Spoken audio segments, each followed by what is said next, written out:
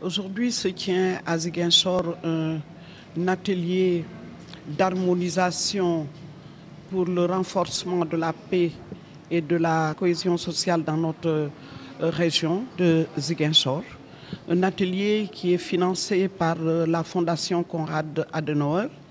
Il s'agit pour nous aujourd'hui de mettre autour d'une table les acteurs politiques, les acteurs de la société civile, les influenceurs, les autorités religieuses, les jeunes, pour qu'ensemble nous puissions faire une analyse de la situation qui prévaut dans notre pays, le Sénégal.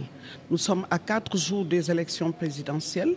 Nous sommes tous inquiets par les, par les conséquences de ces élections et le déroulement des élections même.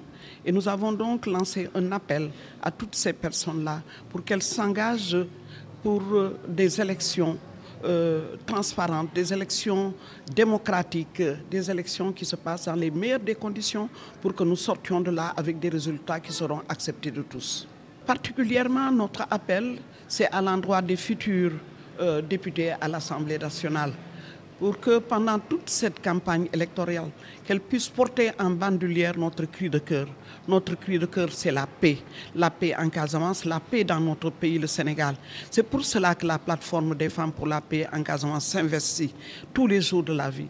Et c'est ça notre sacerdoce. Et nous appelons aujourd'hui encore une fois ces acteurs-là de ne point ouvrir les brèches de la, de la violence, que l'on puisse euh, aller aux élections, qu'ils soient nos qu'ils soient nos, les ambassadeurs de la paix, euh, euh, qu'ils soient des porteurs de voix pour des élections non violentes, pour la paix dans toute la Casamance et notre pays, le Sénégal. Toutes les coalitions des partis politiques sont présentes dans la salle.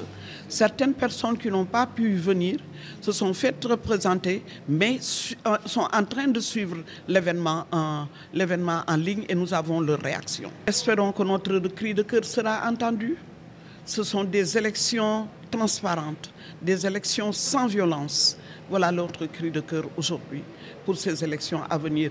Euh, nous avions fait le même travail toujours avec la Fondation Conrad Adenauer pendant les élections territoriales. À la fin, nous avons rendu grâce à Dieu parce que ce qui euh, nous avons vécu ici en Casamance, des élections vraiment paisibles.